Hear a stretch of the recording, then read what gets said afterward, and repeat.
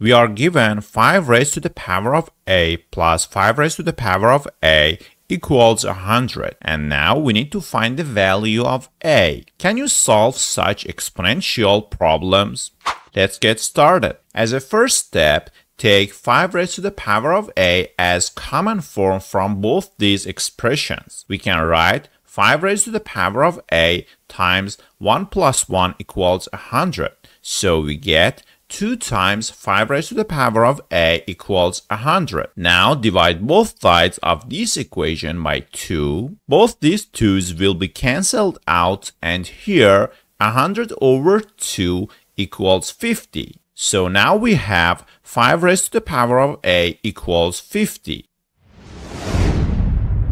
Now 5 raised to 2 is 5 squared which is 25 which is less than 50 and 5 cubed is 125 which is greater than 50. This means that the value of a must lie between 2 and 3. First write 50 as 2 times 25. Now write 25 as 5 squared. So 5 raised to a equals 2 times 5 squared. To find the exact value of a, we can use logarithms. Taking logarithm with base 10 on both sides of this equation, we get log 5 raised to a equals log 2 times 5 squared. First, we will use a logarithm rule where log 5 times n equals log 5 plus log n. So we can rewrite the right side as log 2 plus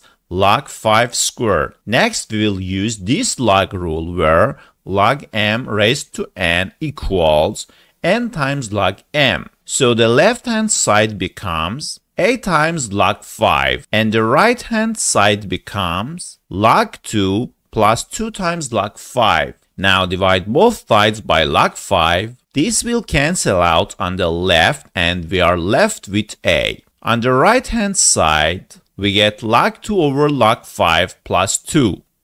So a equals log 2 over log 5 plus 2. Thus, we can clearly see that log 2 is less than log 5. So log 2 over log 5 will be less than 1 and greater than 0. Therefore, this 2 plus log 2 over log 5 will be less than 3 but greater than 2 as we already discussed. Using calculator values, log 2 equals 0.3010 and log 5 equals 0.6990. So A equals 2 plus 0.3010 over 0.6990, which equals 2 plus 0.43. Therefore, the final value of A is approximately 2.43 and that is good.